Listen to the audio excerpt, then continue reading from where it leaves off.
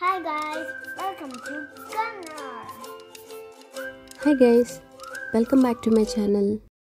So be ready for secret recipe of our indoor gardening. Now we are ready with our uh, potting mix ingredient: vermicompost, coco peat, river sand, and a little bit of neem cake.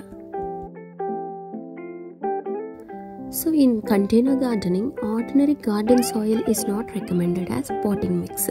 So let us start the universal potting mix recipe.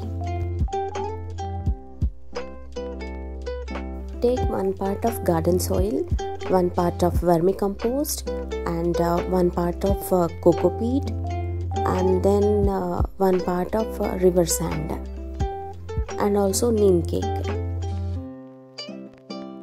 Mix all the ingredients properly. So now our universal potting mix is ready to use.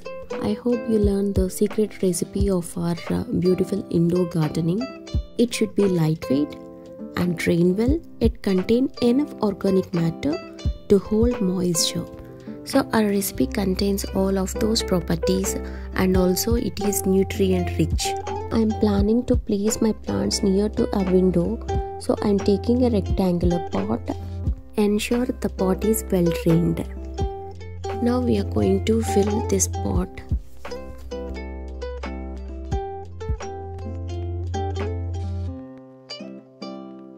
We have to place our plants.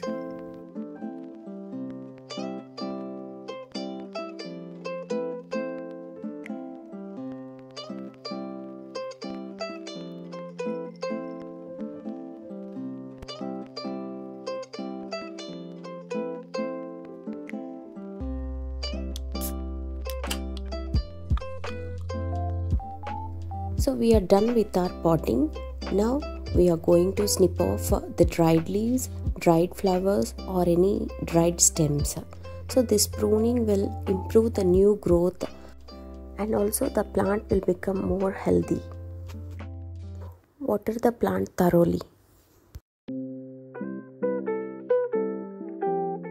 See you guys. Stay tuned for succulent potting mix in the next episode. Until then, happy gardening.